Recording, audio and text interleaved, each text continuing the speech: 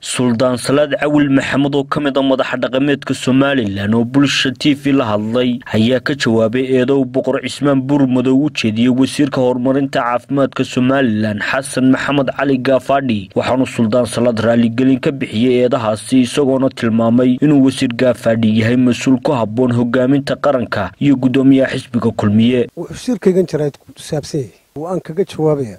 Hadal ka soo yeedhay boqor cismaan maxamuud buurmadow isagoo oo si qaawan u weeraray wasiirka caafimaadka xasan maxamed cali gaafadhi kaasoo ka baxay xaydaankii dhaqameed iyo xaydaankii siyaasadeed labadaba. Anigoo ah suldaan ka mida sadaadiintiisa wasiirka waxaan ka xaal marinayaa hadalkii ka soo yeedhay boqorka.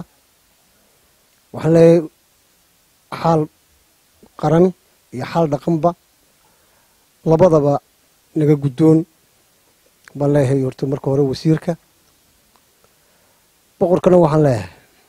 Boqor ismaan ama maxamuud buurmadow hadalkaa kaa soo yeedhay ma ahayn maantii dhoweyd mid dhaqan ama af boqor ee wuxuu ahaa af nooc kale loo turjumayay waxaan leeyahay kolley ma odhan karo maanta.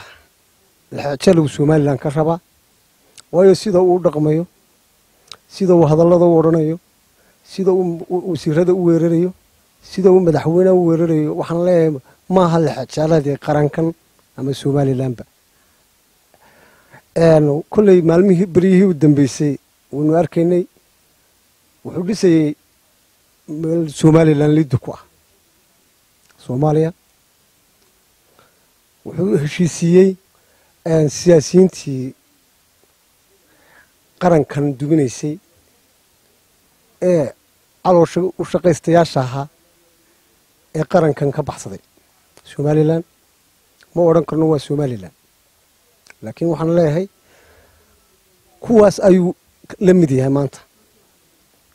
Wuxuu u joogaana iyagii wuxuuna weerarayaa qaranka wasiiradiisii horumarka. U horseeday anna leeyahay murjamkaagu yuu noqon magni dila walaalkii. Maskaxdu hadda yuu noqon maqal lagula leeyahay yaan marba cidi ku soo taaban oo dhabarka ku soo taabane tii boqornimo ku shaqey baan leeyahay taageero uma ahaa baan leeyahay wasiirka arrimaha gudaha maxamed kaahin axmed. Mid uu jalo u qabo maahayn baan leeyahay taageerada uu muujinayey maxamed kaahin waa wasiirkaygii waa mujaahid. Ka mida mujaahidiinta ee waxaasaan leeyahay maanta dee miiladiisii baanay ahayn.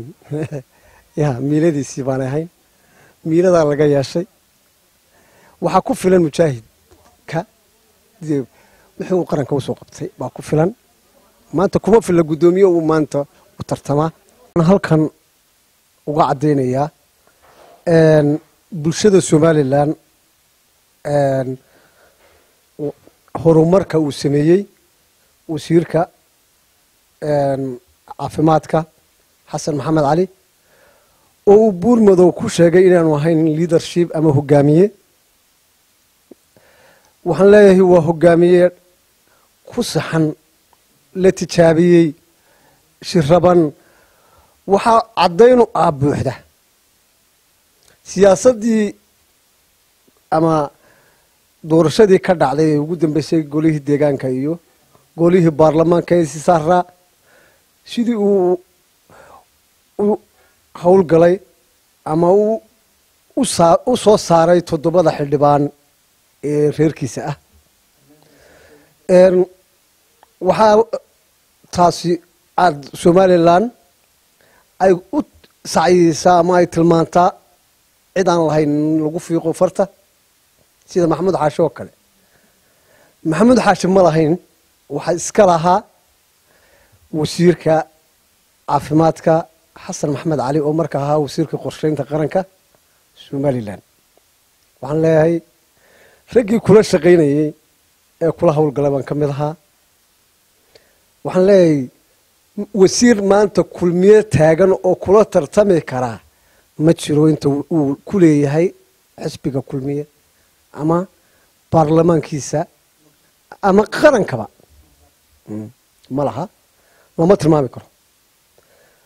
Waa ninka sameeyey shirguddoonka koobaad waa ninka keensaday. Shirguddoonka koobaad cid ku metesho kulmiye waa isagaa keenay waa wasiirka keenay. Ma nimaa waxba la soo bixin baa hogaamiye noqonaya. Haddii kii wax la soo baxay aan hogaamiye noqon waayo. Waxaan leeyahay xasan maxamed cali waa nin ku habboon hogaaminta qaranka somalilan cid kula tartamayso oo kalena. Ma jirto. Jaamac salebaan cumar bulsha t v magaalada burco